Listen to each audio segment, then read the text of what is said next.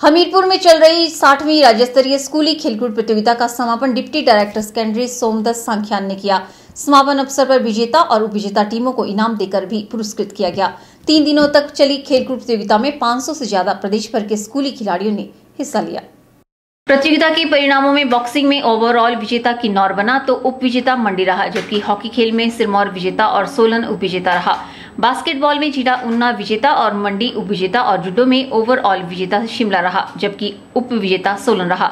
Deputy director secondary Somdas Sankhyan ने विजेता टीमों को बधाई दी और कहा कि विजेता टीमें हिमाचल का प्रतिनिधित्व अब राष्ट्रीय स्तर पर करेंगी। उन्होंने कहा कि प्रतियोगिता में हार जीत से नहीं घबराना चाहिए और आगे भी खिलाड़ियों को प्रयास जारी रखना चाहिए। आप सबसे गुजारिश करता हूँ कि जो आपने यहाँ अच्छी बातें सीखी हैं, उनको साथ लेकर के जाएँ अपने जीवन में। जो भी विजेता टीम्स हैं खिलाड़ी हैं, उन सबको बहुत बहुत बधाई देता हूँ। आप सभी हमारे हिमाचल प्रदेश का प्रतिनिधित्व करेंगे, राष्ट्रीय स्तर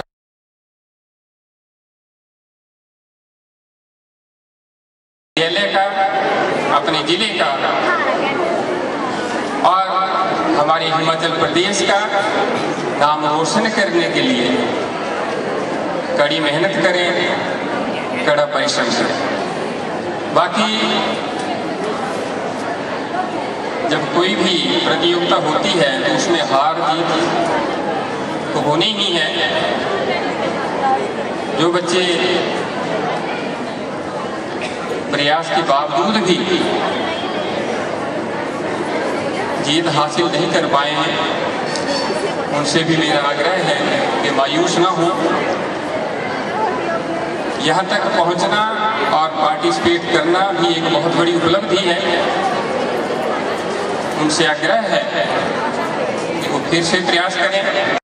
इस अवसर पर सहायक निदेशक शारीरिक शिक्षा प्रीतम थोंटा एडीपीओ राजेंद्र शर्मा भी मौजूद रहे।